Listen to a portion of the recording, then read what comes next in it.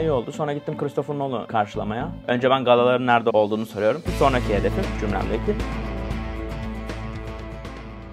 Merhabalar, güzel ve yalnız kanalıma hoş geldiniz. Dostlar, düşmanlar, akrabaları ve eski sevgililer. Bugün size e, ünlü yönetmen Christopher Nolan'la nasıl tanıştığımı anlatacağım. İsim olarak belki karamamış olabilirsiniz. Christopher Nolan kimdir? Christopher Edward Nolan, İngiliz yönetmen, senarist, yapımcı, görüntü yönetmeni ve editördür. Gelmiş geçmiş en yüksek hasılat yapan yönetmenlerden birisidir ve 21. yüzyılın en başarılı ve en beğeni toplayan film yapımcıları ve yönetmenleri arasında gösterilir. En ünlü filmi zaten biliyorsunuz. Batman en ünlü filmi. Inception var, Interstellar var, birçok filmi var. Hepsi ünlü zaten. Kısaca bu. Ama uzun olarak anlatırsak e, bitmez tabii ki. Ki ben de o kadar çok şey bilmiyorum hakkında. Yani anlatamam. 2015 yılıydı. Bir turizm firmasında havalimanında yolcu karşılama personeli olarak çalışıyordum. İngilizcesi transfermen diyorlar. İşin tanımı nedir? Yolcuları karşılıyorum havalimanında. Şirketin şoförlerini arıyorum. E, abi aldım yolcuyu. Çıkıyoruz diyorum. Ardından şoför abilerimiz kapıya yanaşıyor. Bindiriyoruz yolcuyu. Hep birlikte otele doğru gidiyoruz. Böyle bir iş. Yolda ben onlara bilgiler veriyorum. Tur programlarını veriyorum. Küçük hediyelerimiz var. Onlara veriyorum. E bir de bunun otelden havalimanına götürüş kısmı var. Çift yönlü bir iş. Basit bir iş aslında ama zor bir tarafı yok aslında baktığınız zaman. İngilizce bilmeniz gerekiyor. Bir de e, şöyle bir önemi var. Turistin ülkeye ilk geldiğinde ilk karşılaştığı yüz siz oluyorsunuz. Yani hem şirketi temsil ediyorsunuz hem de e, ülkeyi, Türkiye'yi temsil ediyorsunuz. İlk intiba sizsiniz. O yüzden aslında bu açıdan önemli bir iş. Bir de e, dünyanın her yerinden insan gelebiliyor. Saçma sapan konuşan insanlar da olabiliyor. O yüzden sabırlı, adaplı, edepli olmanız gerekiyor. Ağustos ayıydı. Christopher Nolan geldi ay. Ben de kimleri karşılayacağımın listesini şey almak için ofise gittim. Kağıdı aldım baktım. Christopher Nolan'ın ismini gördüm kağıtta. İsmi bir yerden tanıdık geliyor dedim ben kendi kendime ama çıkaramadım yani. Sonra Cengiz abiyle internetten bak. Ünlü yönetmen Christopher Nolan'mış. İşte Batman'in yönetmeni ve daha birçok filmin yönetmeni. Biliyorsunuzdur yani Batman'i izlemişsinizdir. İsim olarak ve tip olarak ben çok bilmiyordum yani. Normalde çalıştığım firma zengin kesime hitap eden bir tur firmasıydı. Çok önemli isimler geldiğinde top VIP yazarlardı. Yüksek önem gerektiren olduğunda öyle şeyler yazıyorlardı. Cengiz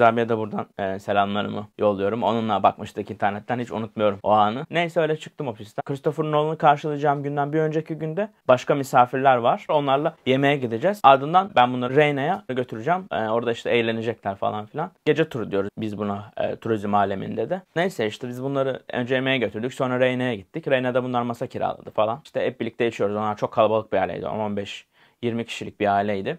Sonra şirketten başka bir arkadaşım daha geldi Reyna'ya, Uğur. Sonra bu misafirler masadan kalktılar. Bütün içkiler bize kaldı. Biz de zaten içiyorduk ama bütün içkiler bize kalınca biz de ziyan olmasın dedik. Çoğu içkiyi yani içtik Uğur'la neyse. Sonra o dedi eve gitme gel sabah buradan gidersin işe dedi. O da Mecidiyeköy'de oturuyordu. Sonra onun evine gittik. Benim 9'da kalkmam lazım. O gün de Christopher Nolan geliyor. 12 gibi falan Los Angeles'tan uçağa inecek. Sonra kalktım 9'da tabii çok içtiğimiz için midem çok kötü. Başım ağrıyor. Nasıl gideceğimi bilmiyorum. Sonra çıktım işte metrobüse bindim. Şirinevler'de indim. Oradan havalimanına geçtim. Atatürk Havalimanı açıktı o zaman. İşte taksi durağı var. Oraya gittim döner yedim. işte kola içtim. Ayran içiyorum böyle midem biraz düzelsin diye. Neyse midem biraz daha iyi oldu. Sonra gittim Christopher Nolan'ı karşılamaya. Kağıda yazdım elini Christopher Nolan diye. Sonra ismini buldu. Geldi yanıma işte. Merhaba merhaba dedi. Sonra öyle nasılsınız iyi misiniz falan filan dedik. Christopher Nolan'ın böyle küçük bir omuza astığı bir bavulu vardı. Ya çok büyük değilden şu şu ebatlarda falan.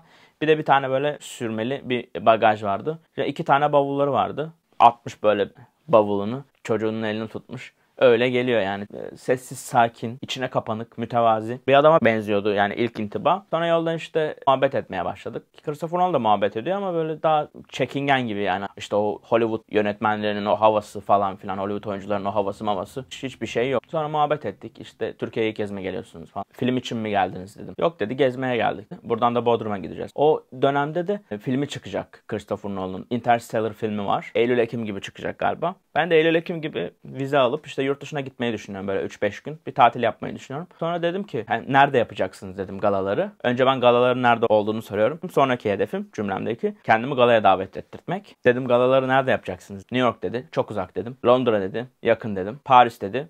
Daha yakın dedim. Sonra Christopher Nolan güldü. Şimdi dedim biz tanıştık burada sonuçta. Siz beni tanıyorsunuz. Ben de sizi tanıyorum bir yarım saat olmasına rağmen. Eğer dedim ben Paris'teki galaya mesela dedim gelsem Sizi tanıyorum. Girebilir miyim dedim. Christopher Nolan çok içten bir şekilde gülümsedi tabii. Sonra oradan karısı Emma Thomas Nolan aynı zamanda yapımcısı o devreye girdi. Tabii dedi ben sana mailimi vereyim. Sen bana mail at dedi. Oradan seni davet ederiz dedi. Davetini yollarız falan filan dedi. Sonra Emma bana mailini verdi. Sonu da böyle Warner Bros'lu olanından bir maildi. Muhabbet ede ede otele gittik. Çırağına bıraktım. Orada bir fotoğraf falan çekildik. 3-5 gün sonra galiba tam hatırlamıyorum kaç gün olduğunu. Tekrar ben onları otelden aldım. Bu sefer iç hatlara bırakacağım. Onlar da Bodrum'a uçacaklar. Neyse Christopher Nolan'a dedim siz business mi uçuyorsunuz dedim. Ekonomi mi uçuyorsunuz dedim. Aslında Christopher Nolan business uçar değil mi yani? Business değildi ama.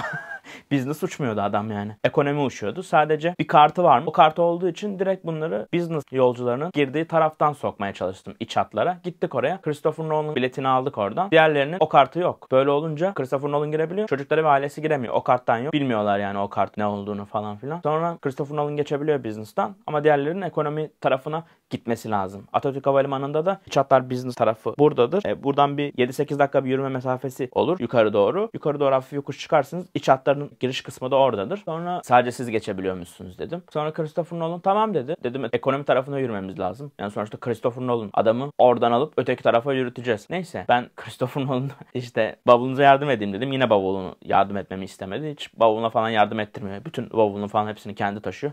Sonra tekrar sırtladı bavulunu. Böyle kolunu attı. Çocuğu yine elinden tuttu.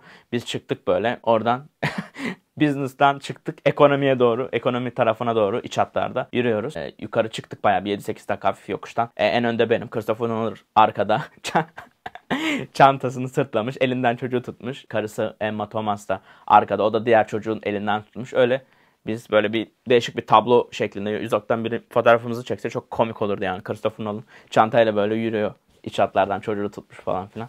Neyse oradan iç hatlara ben onu bıraktım. Bunlar uçtu. Christopher Nolan bana 20 TL bahşiş verdi. O zamanlar dolar 2,5-2,6 falan da herhalde yanlış hatırlamıyorsam. 2015 yılı. Her şey çok güzeldi Türkiye'de. Dolar çok düşüktü. E, ardından ben mail attım Emma Thomas'a. E, ama e, bir dönüş olmadı maile.